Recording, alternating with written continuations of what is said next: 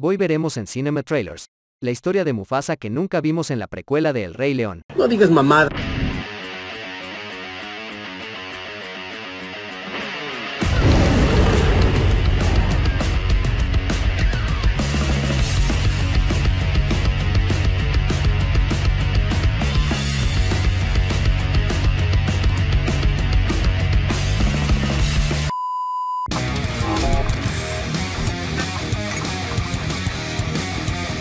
¿Qué hay de Mufasa? Conocemos su extraña relación con Scar, su sabiduría y amor por su hijo, pero poco más. Disney se ha puesto como objetivo que en los próximos años conozcamos más acerca del personaje del Rey León, la precuela de la famosa historia de la selva que ya está en desarrollo. Mufasa se centrará en el icónico padre de Simba.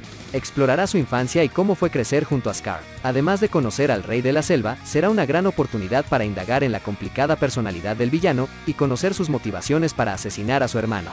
Miren quién bajó a convivir con los plebeyos. Al frente de la dirección está el aclamado Barry Jenkins, director de cintas como Moonlight, El ferrocarril subterráneo o El blues de Bill Street, todas ellas con excelentes críticas. Un día será mi hijo quien reine. Simba se volverá tu rey. Si ya eres veterano en este canal, dale un like al video, para que la comunidad siga creciendo, y si eres nuevo, ¿qué esperas para suscribirte?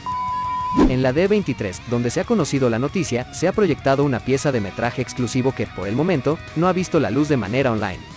Las imágenes, según recoge Variety, comienzan con Rafiki contando la historia de Mufasa a un grupo de jóvenes, y revela que Mufasa era un cachorro huérfano que tuvo que arreglársela solo hasta que se convirtió en el rey de la Roca del Rey.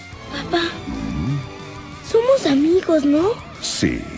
Y siempre estaremos juntos, ¿no? El Rey León es una de las cintas más queridas de la compañía del ratón, especialmente para todos aquellos que crecieron en los 90 disfrutando de las aventuras de Simba, Timón y Pumba. Justo por eso, es posible que haya cierto escepticismo en torno a la decisión de Disney de contar la infancia de Mufasa. Lo bueno aquí, sin embargo, es que tenemos la oportunidad de viajar a un punto de la historia que nunca vimos. El estreno de Mufasa está programado para 2024. Esto fue todo por hoy. Los leo en los comentarios y nos vemos en un próximo video.